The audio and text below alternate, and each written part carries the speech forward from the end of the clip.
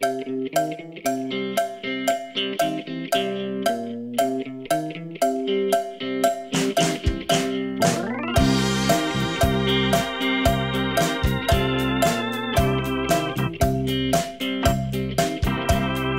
kuljin kerran katua kassit käsissäin.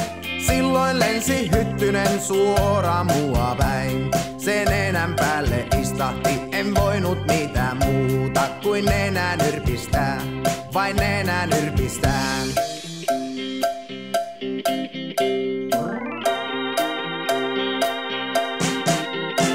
Mä kuljin kerran katua kassit käsissäin. Silloin lensi kärpänen suora mua päin. Se otsan päälle istahti, en voinut mitään muuta kuin otsaa rypistää. Vain otsaa rypistää.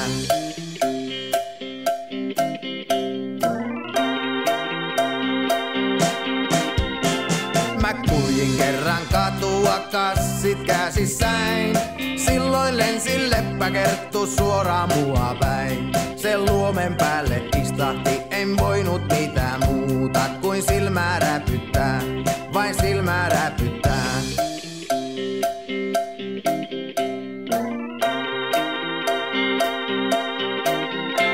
Mä kuljin kerran katua kassit käsissäin lensi itikka suora mua päin. Se huulen päälle istahti, en voinut mitään muuta kuin suuta maiskuttaa, vain suuta maiskuttaa.